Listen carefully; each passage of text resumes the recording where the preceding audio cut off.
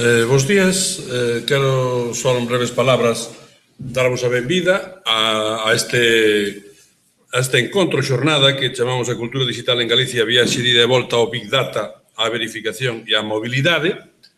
Eh, un dos objetivos eh, constantes do Consello é non só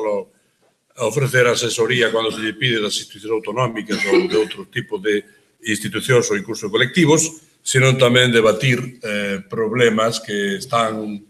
eh, non só na actualidade, senón que afectan á vida, a convivencia e ao benestar eh, da sociedade galega. E un deles é justamente non só a cultura digital, senón tamén este asunto eh, que hoxe está moi á moda dos big data e as súas conse e as consecuencias que pode ter.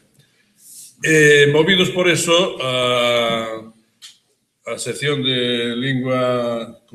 lingua literatura e comunicación, e nomeadamente eh, o profesor Xosé López, que por outra parte tamén é secretario do Consello, organizou este, esta xornada. Eu aproveito para agradecer non só o seu traballo,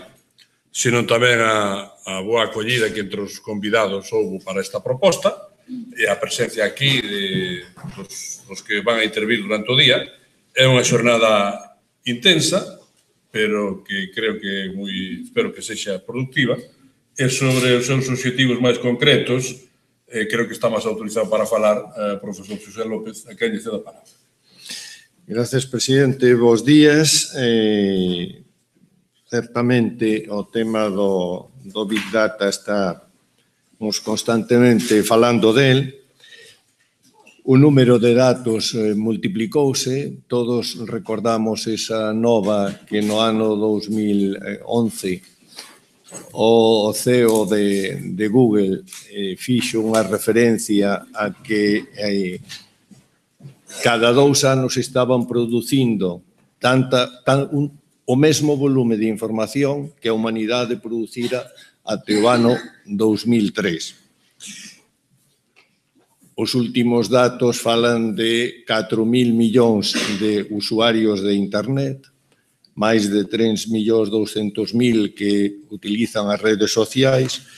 e uns volumes inxentes de eh,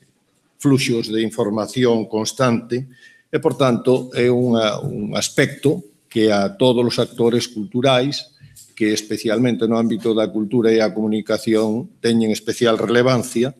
para tratar de entender o que hai baixo de todas as capas de datos. E sobre todo porque, como posiblemente sairá na xornada e todos vostedes saben,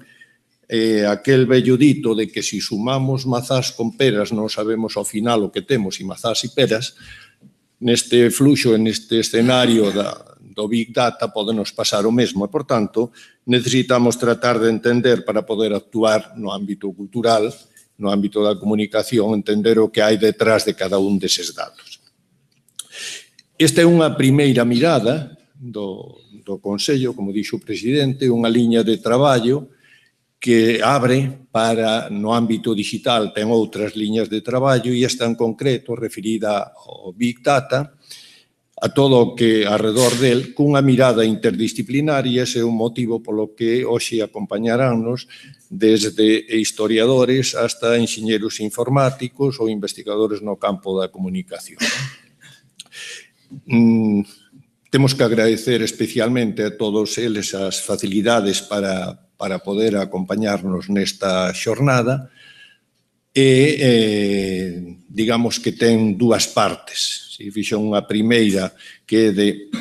dar unha visión máis panorámica e aproximación e unha segunda, é dicir, a última parte máis da mirada profesional e polo medio algunhas achegas de aspectos concretos que se van coñecendo ou estudos que se van facendo nestes últimos anos. Por tanto, espero que esperamos que lles resulte útil e tamén que sepan que é unha liña de traballo do Consello, por tanto é un punto de partida, non un punto de chegada. Mais nada, e agardo que lles eh, que disfruten ao largo da xornada con todas as persoas que nos acompañarán, as que moi sinceramente agradezo as súas facilidades para poder acompañarnos e estar con nos nesta xornada, neste día.